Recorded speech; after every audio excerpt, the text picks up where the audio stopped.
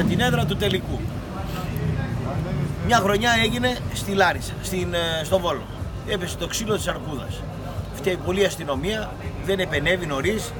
Είναι ευτύχημα ότι δεν θρυνήσαμε νεκρούς.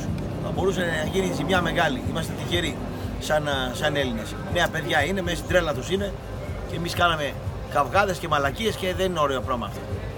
Πάμε παρακάτω. Πετάγινε στο ΟΑΚΑ. Ο ΆΚΑ είναι η έδρα της ΑΕΚ.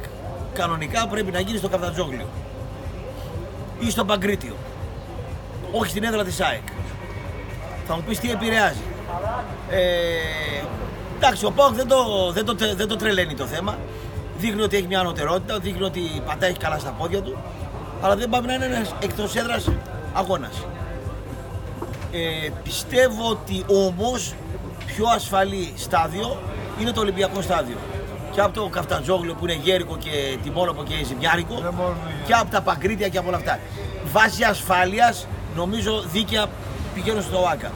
Ε, βάσει, ε, βάσει ομάδων νομίζω ότι αδικείται εδώ πάω. Θα μπορούσα να παίξω στο Καφτατζόγλιο. Το οποίο όμως δεν πληρεί ε, τις προϋποθέσεις. Αυτό.